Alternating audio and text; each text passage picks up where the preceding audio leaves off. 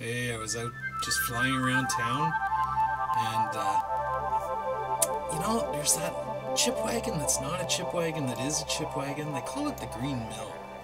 It's right at the corner of Ottawa Street and Patterson on the north side or northwest side, whatever you want to call it. And talk about excellent food. Not only do they have great food, but they got different food. It's not the same as what you might find in another chip wagon. And have a look at the menu. And you want to talk about a friendly reception? Look at that. Here I am flying up to the window. And they're waving at me. Can you believe it? Me, a little old drone. Oh well, there you go. So have a look at the menu. Next time you're cruising uh, westbound on Ottawa Street, just pull in and uh, grab yourself some mushroom caps, cauliflower bites. I mean, look at the menu. It's great. Anyway, just thought I'd share this with you. Have a great day.